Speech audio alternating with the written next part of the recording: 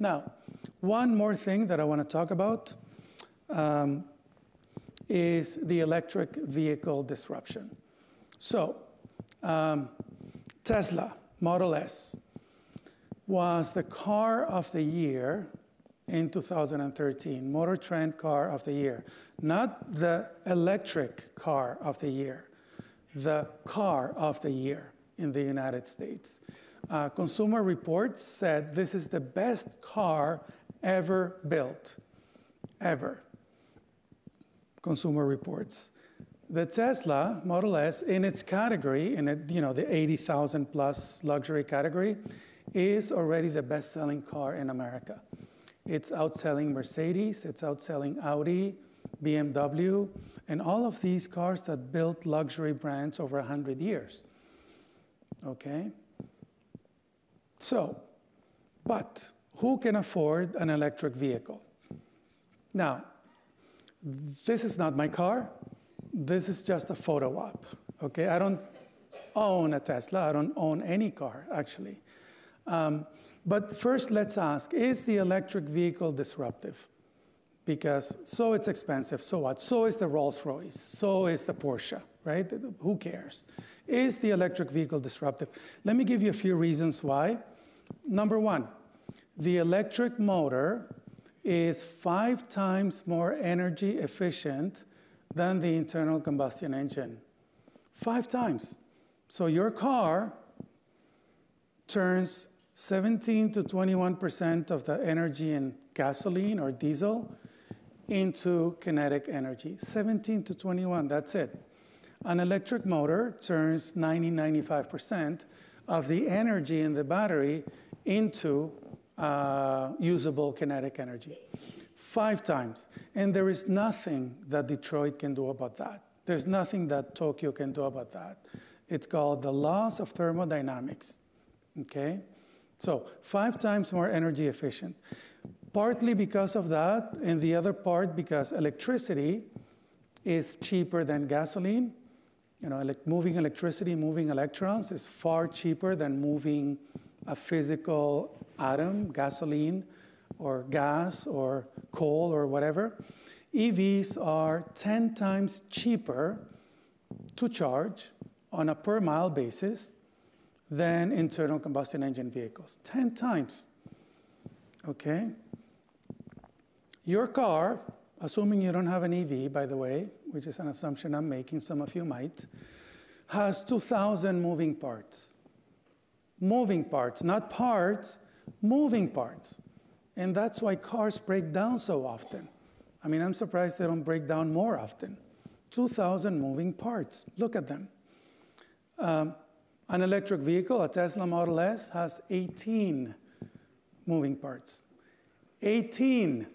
That's a 100x difference, which is why Tesla today offers infinite mile warranty. Infinite. You can drive your car to the moon and back, and they will still warranty the car. That's because these cars don't break down. Electric motors don't break down. And 18 moving parts. I mean, that's a 100x difference. This is disruptive because maintenance is a huge part of the uh, conventional car company supply chain, value chain. They make a lot of money out of that. So when you put these together and you know five other reasons that I mentioned in the book, here's what happens. And this is totally disruptive. So for a hundred years, the car industry has taught us to buy cars on this basis. You want high performance, you want the Porsche, you have to pay high money you have to pay the $100,000, $120,000. You want medium performance, then you pay medium money. You, you, you want little performance, then you pay little money. I mean, basically, the car industry has gone along this, along this uh, arrow for 100 years, okay? What the electric vehicle does is this. It moves the price performance curve to a point where you can get the Porsche performance for the medium money. And what do you think the market is going to do when you can buy a $40,000 car that has the performance of the Porsche or the $40,000 car that needs gasoline, you know, $4,000 of gasoline plus maintenance plus this and that? Gone. Just like the Tesla is the number one selling in the luxury category, when it gets down to 40, not just Tesla, any EV. I mean, in, in, in, in, uh, in some countries, hmm, in Norway, 20% of all new cars are electric. 20% of all new cars are electric. So, you know, it's already entering the mainstream in some markets. So, okay, I'll convince you, I've convinced you, probably many of you, that uh, the, the EV is disruptive. How long is this disruption going to take? Meaning, when are we going to get that famous $40,000 car? So let's assume that you'll need to be a mainstream car 200 miles, right? 320 kilometers of range. Even, even if we don't need that much, let's assume that you need that much to be a mainstream car, right? I won't take you into the details, but here's what you get. To get a 200 mile electric vehicle today, at today's prices, you have to pay 70 grand.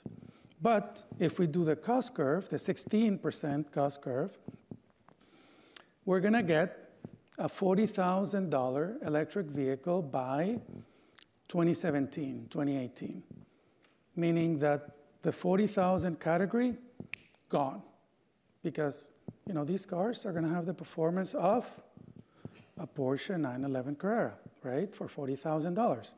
By 2020, you will have a $31,000 electric vehicle with 200 mile range. Now, $31,000 is important because that's the cost of the average car in America, new car. Okay? So, the average car in America, gone by 2020. The industry will be able to produce a $21,000 car by 2022. And why is that important? Because that's the cost of the low end car in America, $22,000. And EVs are going to keep going down. So the disruption is not going to end 2022. Now, of course, we own our cars 10 years, so it's not like all the gasoline cars are going to be off the road by then, but essentially all new cars are going to be electric. And you know, if you look at the announcements, Tesla has already announced that the, they have a $35,000 car 2017 it's going to go 200 miles, and it's going to be 20% smaller than the Tesla Model S. $35,000. That's less than half. It's actually a, yeah, it's actually about a half of their current Model S. By 2017, that's only two years away.